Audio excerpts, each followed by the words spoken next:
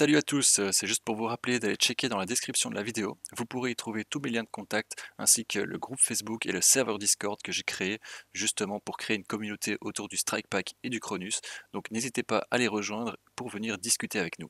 Et si vous souhaitez acheter du matos gaming, un Cronus ou un Strike Pack, n'hésitez pas à aller sur steelgamer.com et à utiliser mon code promo qui vous offrira 5% de réduction.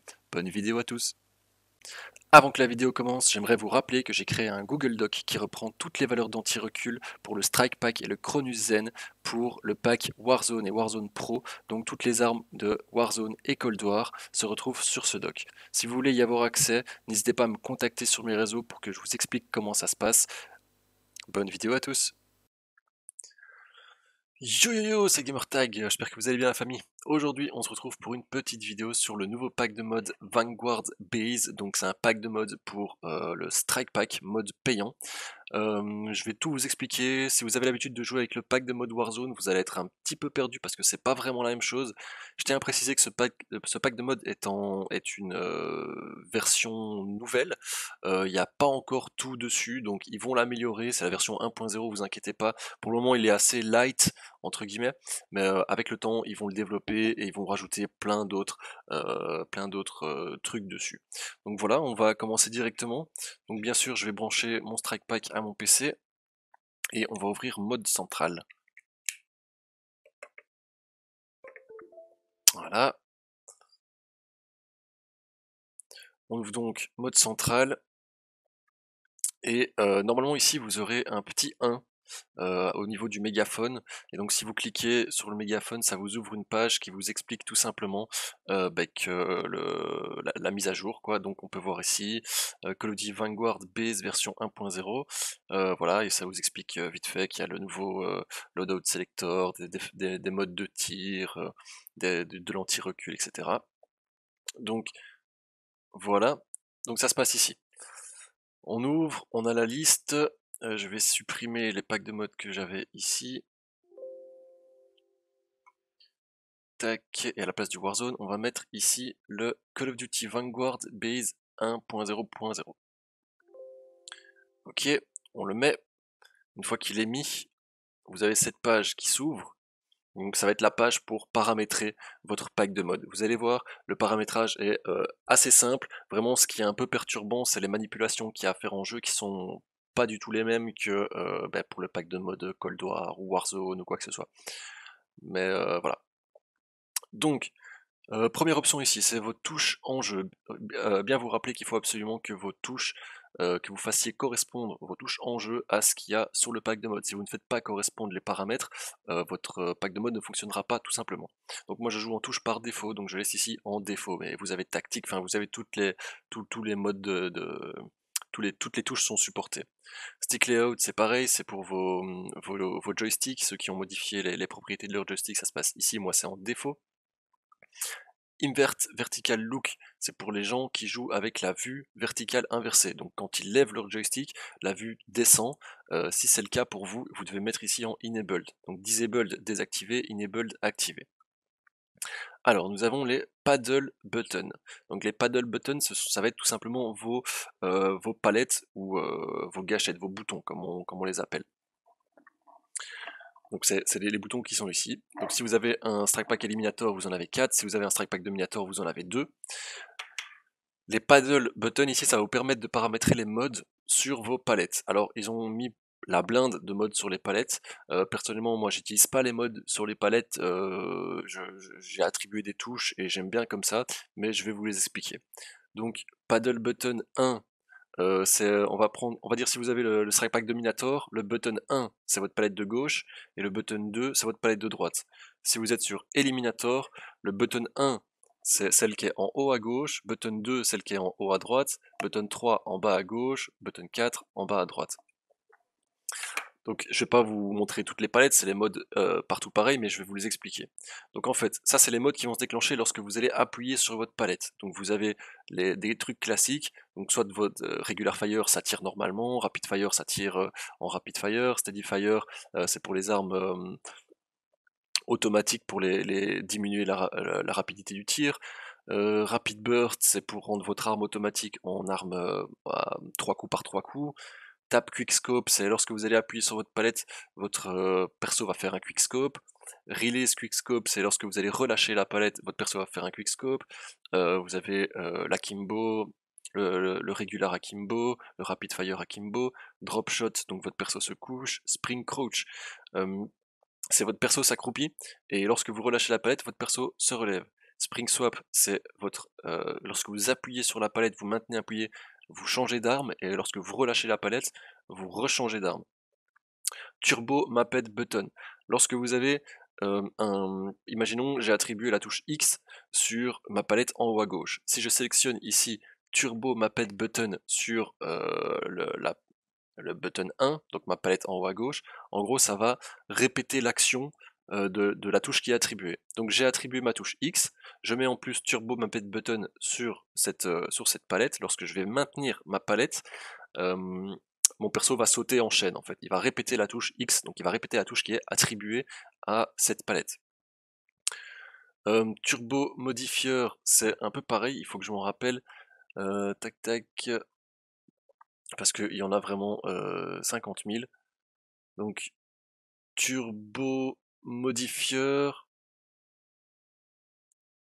Ah oui, donc c'est lorsque vous maintenez la, cette, palette et que vous appuyez en plus sur une autre touche, vous pouvez faire cette touche en turbo. Donc par exemple, je maintiens ma palette et j'appuie sur ma touche rond, et ben ça va spammer la touche rond. Voilà, c'était tout con. Toggle Bunny Up, donc ça vous permet de sauter, euh, quand vous maintenez la planète, vous sautez en chaîne. Euh, Toggle Circle Strafe, votre perso va euh, tourner en rond, va, courir en se déplaçant en rond. Rapid Crouch, votre perso va s'accroupir et se lever très rapidement. Euh, Toggle Strafe, votre perso va aller de gauche à droite. Alt Activator, en fait, ça vous permet de changer la touche qui est attribuée pour faire les différentes manipulations. Donc par exemple, si vous devez appuyer sur touchpad triangle, lorsque vous mettez euh, ici le mode Alt Activator sur votre palette de gauche, il faudra plus appuyer sur le touchpad, mais il faudra appuyer sur votre palette de gauche. Personnellement, je vous conseille de ne pas utiliser ça, de laisser les manipulations comme elles sont. Et euh, Toggle Mode, Toggle Mode, ça permet de désactiver les modes, euh, votre pack de mode en entier. Donc ça, ce sont tous les modes qui se trouvent sur les palettes. Donc vous voyez que c'est quand même pas mal, il y en a beaucoup. Et bon, vous avez quatre palettes, donc vous pouvez euh, attribuer tous ces modes sur quatre palettes différentes. Et donc ça ici, Turbo Mode Délai, donc c'est par rapport au euh, Turbo ici, Turbo Mapped et Turbo, turbo Modifier, ça vous permet de diminuer ou d'augmenter la rapidité du turbo. Donc au plus vous allez bas dans la valeur, au plus ce sera rapide. Donc ça c'est les palettes, ça fait déjà beaucoup. Global Mode, ça c'est euh, les modes qui seront activés tout le temps, euh, c'est toujours les mêmes, donc on a le Auto Hold Breath qui permet de retenir la respiration automatiquement lorsque vous euh, avez un, fusil avec une lunette longue. Block Rumble, c'est ce qui vous permet de bloquer les vibrations de votre manette. Rapid Melee, ben, c'est votre, comme le Turbo Melee en fait, c'est lorsque vous allez appuyer sur votre touche pour faire un coup de cross, votre perso va enchaîner les coups, de cross tout le temps, je vous conseille pas de l'utiliser. Slide Cancel, ça c'est vraiment le, mode que tout le monde adore, euh, ça va annuler l'animation du lorsque vous allez glisser au sol et ça va vous faire vous relever beaucoup plus vite. Donc personnellement, euh, je vais juste jouer avec Slide Cancel tout simplement. par exemple, si vous voulez Auto Hold Breath et Slide Cancel, vous allez chercher A, H, B et SC, donc A, H, B, SC, ce sera ici. Et vous voyez, il y a toutes les combinaisons de modes possibles. Donc moi ici, je vais sélectionner juste Slide Cancel. Air Triggers, ça vous permet d'avoir des gâchettes plus rapides. Donc euh, ben, moi je les mets tout le temps. Donc Left Trigger c'est seulement la gâchette gauche, Right Trigger seulement la gâchette droite, Boss Trigger les deux gâchettes. Donc moi je les mets tout le temps sur les deux gâchettes. Active Aim Mode, ça va être les modes qui seront actifs euh, lorsque vous allez viser uniquement. Donc vous avez Drop Aim, qui vous permet de, euh, vous coucher, de vous accroupir, de vous accroupir rapidement, Là, c'est la même chose. Strafe aim qui vous permet d'aller de gauche à droite, circle strafe, hop aim de sauter, turbo, enfin voilà. Je vous ai déjà tout, tout, expliqué. Et en plus, vous avez ici le aim assist. Donc, euh, vous connaissez le aim assist, c'est l'aide à la visée. Euh, attention, c'est pas un aimbot, ça va vraiment vous aider. Et vous voyez, c'est un, un, mode qui s'active uniquement quand vous visez. Donc, lorsque vous allez tirer, ça ne va plus fonctionner. Euh, mais vous pouvez ici dans Donc vous pouvez activer le, aim assist et en plus ici dans aim mode euh, activation, donc c'est quand est-ce que le mode va s'activer. Là le mode s'active et NIADS lorsque euh, vous, vous visez uniquement. ADS only, ça va être lorsque vous euh, visez et que vous ne tirez pas, le mode est activé. Activate fully hold ADS, donc c'est lorsque le bouton pour viser est appuyé au maximum le, mode est actif. Et là, c'est lorsque, lorsque vous appuyez au maximum sur votre bouton de visée, le mode est désactivé. Donc si vous voulez que votre aim assist soit actif à la fois lorsque vous visez et que vous tirez, vous devez mettre sur ADS only, ADS fire, pardon. Donc ici on va le mettre sur ADS Fire. Mais je ne vais, vais, pas vous montrer le aim assist en jeu parce que je vais tout simplement aller dans une partie personnalisée où il n'y aura pas de, de joueurs. Donc je vais le désactiver, mais voilà. Donc vous savez que si vous voulez le aim assist, vous mettez aim assist ici, et vous mettez sur ADS Fire, et donc lorsque vous allez viser et tirer en même temps, votre aim assist sera actif. Aim Assist Intensity, c'est la, force du Aim Assist. Au plus vous allez augmenter cette valeur, au plus votre viseur va faire des mouvements euh, très dérangeants. Donc vraiment, je vous conseille de rester sur une valeur de 15. C'est vraiment la valeur sûre, c'est une très bonne valeur. Donc ne changez pas, laissez en 15 pour le Aim Assist Intensity. Active Shot Mode, ce sont des modes qui vont s'activer lorsque vous allez tirer. Encore une fois, vous avez tous les mêmes modes que les modes de, à la visée, et vous pouvez encore sélectionner ici le Aim Assist et le laisser sur ADS Fire, ou enfin voilà, ce sera activé aussi. Anti-Recoil Mode, donc je vous conseille de laisser sur ADS Anti-Recoil, euh, tout simplement, ça va être euh, l'anti-recul sera actif lorsque vous allez viser et tirer, euh, c'est ce que vous avez besoin. Donc laissez-le sur ADS anti-recul, et il y a moyen aussi de modifier le recul dans, directement en jeu. Donc ça, je vais vous montrer dans la partie in-game de la vidéo. On va, on va y arriver tout de suite. Weapon Swap Mode, donc vous l'avez en automatique ou en manuel, donc c'est lorsque vous allez changer d'arme, parce que vous allez appuyer sur triangle, vous allez changer de, mode pour ces armes. Euh, si vous avez utilisé déjà le pack Warzone, vous comprenez ce que je veux dire. Donc c'est par rapport au, profil, vous voyez. Euh, vous avez un profil d'arme principale, un profil d'arme secondaire. Lorsque vous appuyez sur triangle, il faut que votre strike pack reconnaisse que, ok, vous passez de l'arme principale à l'arme secondaire. Ben, là, si vous laissez en automatique, ça se fera automatiquement. Si vous laissez en manuel, vous aurez une manipulation à faire en jeu pour que votre strike pack lui-même passe de euh, l'arme principale à l'arme secondaire. Mais je vais vous l'expliquer quand on sera en jeu. Donc, Active Loadout, donc euh, il n'y a pas encore de loadout, mais vous pouvez sélectionner différents profils. Vous, pouvez enregistrer 4 profils, mais pour le moment, normalement ici, il est censé avoir une, une liste avec toutes les armes du jeu qui vous permettent d'avoir un anti-recul déjà pré-réglé, donc comme sur le pack Warzone. Ce n'est pas encore le cas, euh, mais vous pouvez quand même utiliser les profils et vous pouvez quand même régler votre anti-recul euh, manuellement en jeu. Euh, donc voilà, vous n'avez pas d'anti-recul qui sera pré-réglé, mais ce sera à vous de régler votre anti-recul et après d'enregistrer ça dans les profils. Et donc vous avez quatre profils, donc vous pouvez jouer avec quatre classes différentes. voilà, donc je vous conseille de laisser sur loadout 1, de laisser sur anyfire et donc ça c'est le rapid fire délai, donc c'est la rapidité du rapid fire, ça c'est vraiment génial les gars. moi, dans tous les packs de mode que j'ai testé, souvent il n'y avait pas ce petit, ce petit, cette petite option, et moi j'aime bien pouvoir changer la, la, rapidité de mon rapid fire, le mettre moins fort, plus fort, j'aime bien pouvoir jouer avec toutes les valeurs, donc ça c'est super sympa. Euh, rapid Burst Duration, c'est la même chose. Quick Scope Times, c'est en millisecondes, euh, c'est la même chose. Vous pouvez choisir quand est-ce que votre Quick Scope se déclenche. Alors, on passe au profil. Vous avez à chaque fois, vous avez quatre profils et vous avez à chaque fois deux couleurs dans le profil. Donc c'est arme principale, arme secondaire. Donc en vert, arme principale, en rouge, arme secondaire. C'est marqué ici. Loadout 1, primary weapon. Loadout 1, secondary weapon.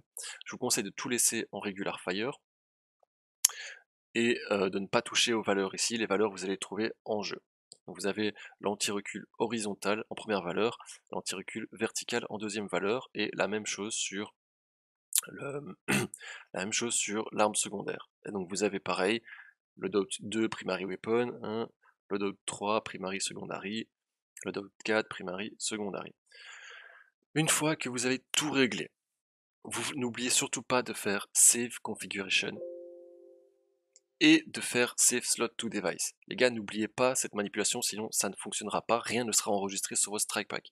Et vous attendez bien d'avoir le message Success avant de fermer le programme, d'accord? C'est très très important. Donc voilà, Success, c'est bon. Je fais OK, je ferme, et je peux fermer ici et débrancher mon strike pack. Je vous conseille vraiment de rester pour la suite de la vidéo parce que je vais vous expliquer toutes les manipulations euh, et vous allez voir c'est pas si simple que ça. Donc voilà, on passe tout de suite à la partie in-game de la vidéo. Avant de passer en jeu, j'aimerais vous préciser que euh, il faut absolument que votre jeu soit en version PS4. Donc moi je joue sur PS5, euh, mon jeu, le jeu doit être absolument en version PS4 parce que euh, le Strike Pack n'est pas et le Chronusen ne sont pas supportés sur les versions PS5 des jeux, d'accord? Donc n'oubliez pas d'utiliser uniquement, si vous êtes sur PS4, il n'y a aucun souci, euh, si vous êtes sur PS5, il faut vraiment avoir la version PS4 du jeu, donc vous pouvez le voir euh, sur mon écran, j'utilise bien Vanguard en version PS4. Et aussi, il faut que vos vibrations in-game, donc en jeu et sur votre console, soient activées. C'est très important les gars, sinon votre strike pack ne fonctionnera pas. Et il faut qu'elle soit mise sur vibration médium. Je vais vous montrer, vous allez dans euh, accessoires, donc ici vous allez dans accessoires, manette, intensité de vibration, et vous mettez ça en moyen. De base c'est en, c'est en élevé, donc vous mettez en moyen. Donc voilà, une fois que c'est fait, on peut lancer le jeu et on se retrouve tout de suite en partie privée.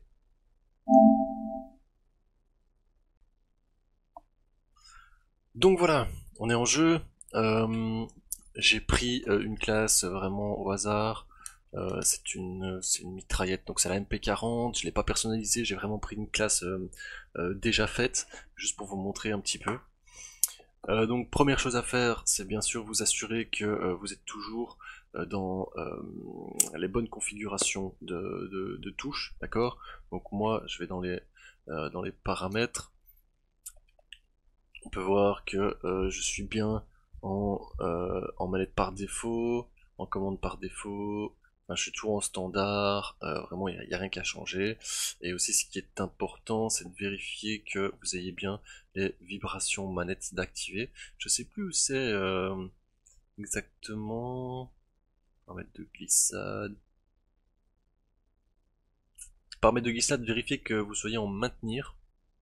Sprint, effondrement vérifiez aussi que vous êtes en, avec les vibrations activées. Donc ça, c'est le plus important.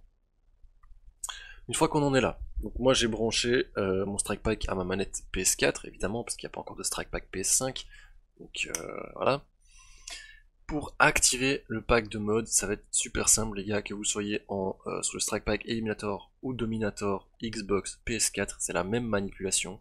Ça va être bouton supérieure gauche plus palette supérieure droite. Ok? Donc je dis supérieur et supérieur parce que sur Eliminator il y a 4 boutons et 4 palettes. Donc voilà, sur euh, Dominator c'est bouton arrière gauche plus palette arrière droite.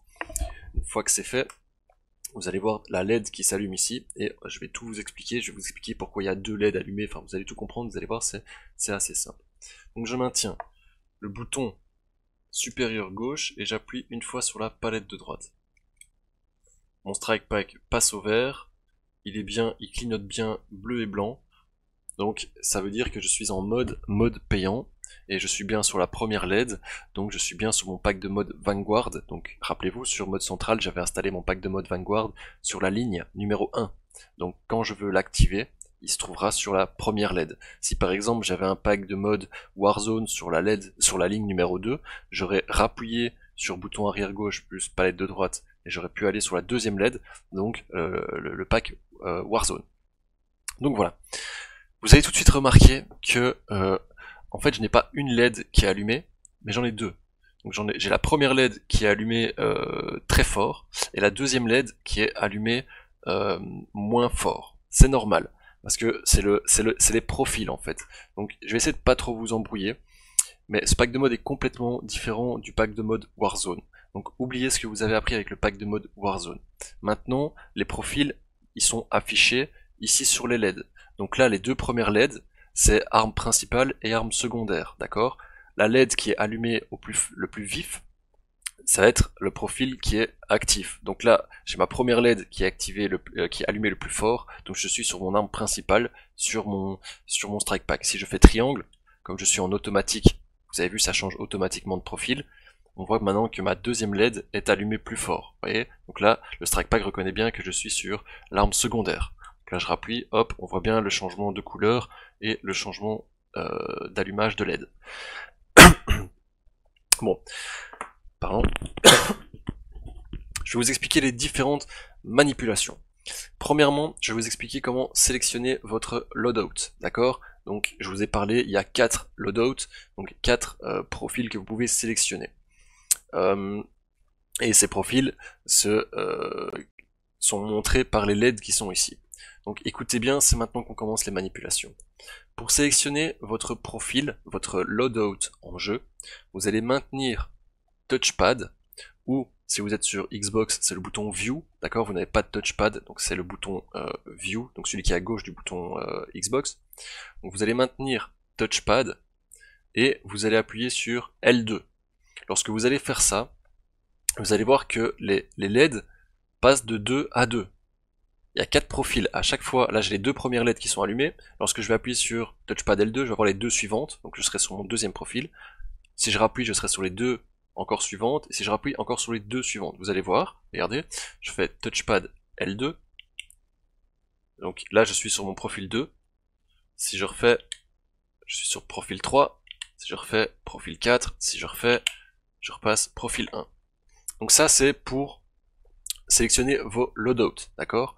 Donc rappelez-vous, sur ces loadouts, vous pouvez enregistrer différents anti-recul pour les différentes armes euh, jusqu'à ce qu'ils mettent enfin des armes sur ce pack de mode et qu'on puisse avoir un recul qui est pré-réglé. Donc ça c'est vraiment assez important ces manipulations, ne l'oubliez pas, vérifiez bien à chaque fois que lorsque votre première LED des deux LED est, est allumée le plus vif, vous soyez bien sur le profil d'arme principal, donc que votre manette soit en vert. Donc il faut que vous soyez bien synchronisé. Si par euh, malchance vous êtes désynchronisé, donc là, voilà, on voit bien, j'ai mon arme principale en main, mais ma manette est rouge et c'est ma deuxième LED qui est allumée, d'accord? Si ça, ça vous arrive, vous inquiétez pas, vous pouvez résynchroniser vos, euh, vos profils. C'est très facile, donc il y a deux manipulations, donc c'est soit touchpad plus triangle pour revenir sur votre profil d'arme principale, ou touchpad plus rond revenir sur votre profil d'arme secondaire. Donc là, j'ai mon arme principale en main, mais mon strike pack est sur le profil secondaire. Je vais faire touchpad plus triangle. Touchpad, triangle. Ma manette repasse au vert. Si maintenant je voulais aller sur mon profil secondaire, c'est touchpad rond. La manette passe au rouge.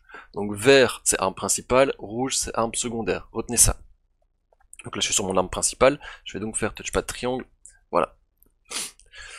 Il y a aussi une manipulation qui vous permet de réinitialiser complètement votre anti-recul. Imaginons vous l'avez paramétré, vous êtes plus content, vous voulez pas revenir sur le mode central pour tout remettre à zéro. Il y a une manipulation qui vous permet de tout simplement le supprimer. Et euh, donc c'est touchpad plus X. D'accord? Si vous faites touchpad plus X, vous sentez trois vibrations dans la manette, ça a réinitialisé l'arme laquelle, sur laquelle vous vous trouvez. Si vous voulez réinitialiser votre arme secondaire, vous devez changer d'arme, vérifier que vous êtes bien sur la LED euh, la bonne de la bonne couleur, et refaire pad plus X. là, on a réinitialisé l'anti-recul et les modes de tir si vous en aviez.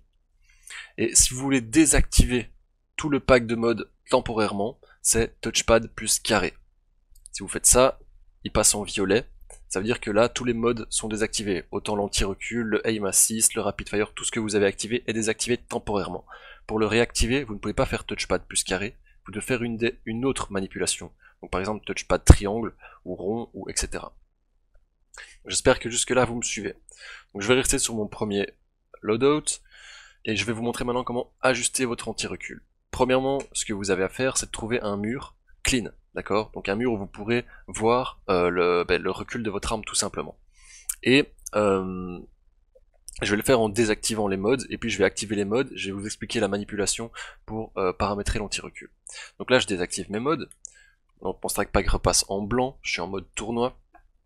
Je vais tirer contre le mur, je vais vider un chargeur, et je vais regarder un petit peu le pattern du, recul de mon arme.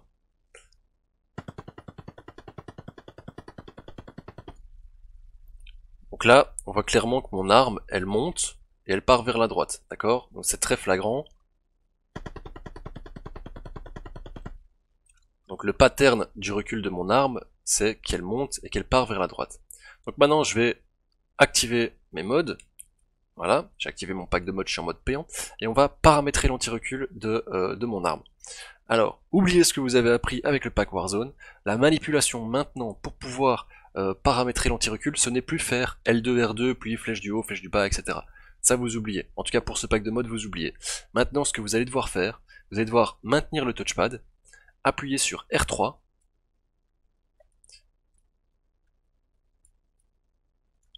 Voilà, donc vous, vous, vous maintenez le touchpad et vous maintenez R3, vous n'appuyez pas brièvement, vous appuyez euh, une petite seconde.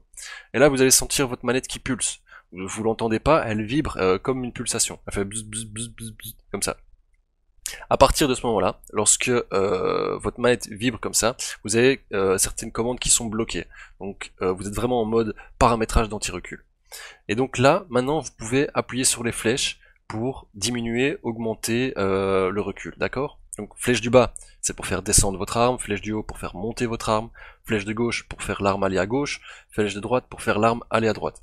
Je vous conseille tout d'abord de paramétrer euh, l'anti-recul vertical, donc le fait que votre arme monte ou descende, et ensuite de paramétrer le recul horizontal, donc le fait que votre arme aille de gauche à droite. Donc là j'ai remarqué que mon arme monte et va vers la droite. Donc ce que je vais d'abord faire, c'est diminuer le recul, le fait que mon arme monte.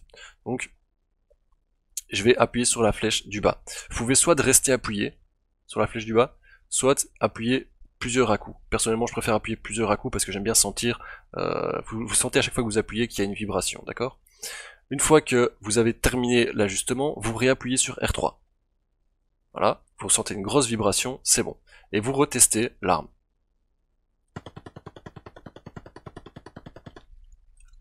Là, elle descend un peu moins, mais c'est pas encore assez suffisant. Donc on va encore abuser un petit peu de ça. Donc je fais touchpad R3, je maintiens, voilà, ça vibre, et on va abuser vraiment. Voilà. Voilà, là on voit que j'ai abusé, mon arme elle descend. Donc, je vais essayer de la régler vraiment bien, ok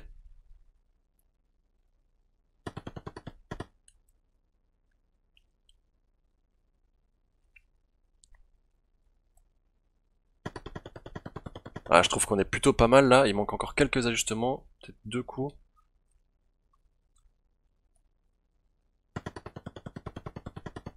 Ah, encore un petit coup, et puis je pourrais régler le recul euh, horizontal.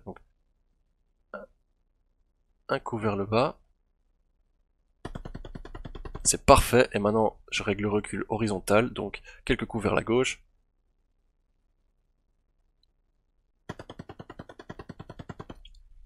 Voilà. Et une fois que vous avez réglé votre arme, toutes les valeurs que vous avez modifiées pour cette arme se retrouvent sur mode central.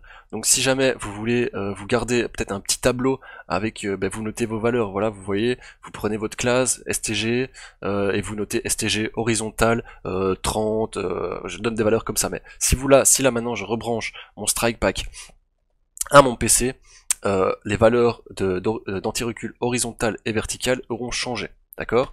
Et donc là on peut voir que c'est pas encore parfait, mais franchement, euh, c'est déjà beaucoup, beaucoup mieux. Donc ça, c'est pour paramétrer votre anti-recul. Il y a encore d'autres euh, manipulations. Euh, je vais vous je vais vous en parler, mais essayez de pas trop vous embrouiller avec ça vraiment. je vous conseille que pour pour le, pour le reste que je vais vous expliquer, passez plutôt directement sur, euh, sur mode central. C'est des manipulations qui vont vous permettre de euh, modifier vos modes de tir. Donc par exemple de passer de, du, regular fire au rapid fire, au burst fire, etc. Donc ça, ces manipulations, elles se font aussi avec touchpad, et c'est touchpad et R2. Et lorsque vous allez maintenir touchpad et faire R2, vous allez à chaque fois naviguer sur une LED, une LED, une LED, une LED, une LED. Et chaque LED correspond à un mode de tir. Donc euh, la première LED, regardez, je vais vous montrer. Là, vous voyez que toutes les LED sont allumées, mais qu'il n'y en a qu'une qui, brille beaucoup. C'est la première LED, ça veut dire que je suis en regular fire. Si je passe sur la deuxième LED, c'est rapid fire. Troisième LED, steady fire. Quatrième, burst fire. Cinquième, tap euh, quickscope. Sixième, release quickscope. Septième, regular akimbo fire et euh, huitième rapid akimbo fire. Je vais vous montrer vite fait le euh, rapid fire, donc deuxième, hop, Et là, je vais me mettre donc sur mon bon profil. Et là, si je tire, vous allez voir que mon arme, elle va tirer à haute cadence. Voilà, automatiquement, vous voyez. Et comme j'ai même déjà réglé anti-recul, c'est même plutôt parfait. Et donc euh, voilà, si je veux reset ça, si je veux enlever le rapid fire, ben je fais touchpad X. Voilà. Et là je n'ai plus le rapid fire, tout simplement. Donc euh, et ça reset évidemment euh, mes modes aussi sur ma sur ma STG parce que j'ai mis le rapid fire sur le premier profil, euh, j'aurais pas dû le faire, du coup j'ai perdu l'anti-recul sur ma STG, sur ma, ma mitraille, c'est pas grave.